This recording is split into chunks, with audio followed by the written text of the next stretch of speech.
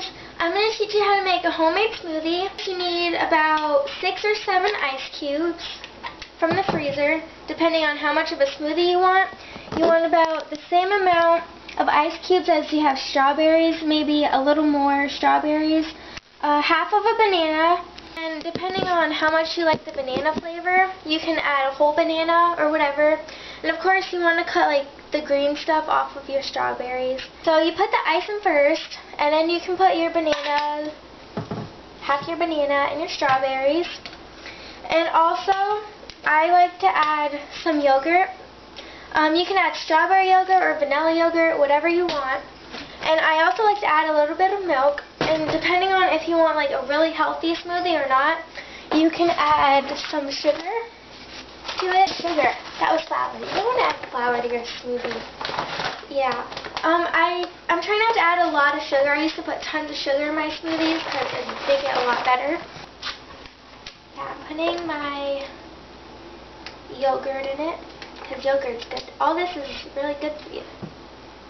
And this is going to kind of make a lot. So if you only want a little, then put like half as much. And a little bit of milk. Uh, not too much, but yeah. I'm not really good at working blenders. They kind of scare me sometimes. You have to make sure it's plugged in.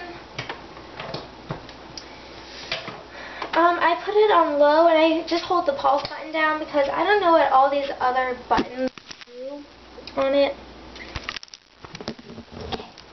So, here we go.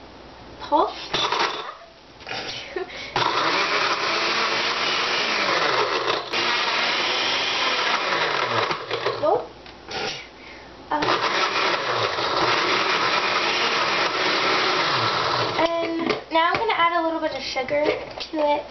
Yeah. Oh, too much. Oh well.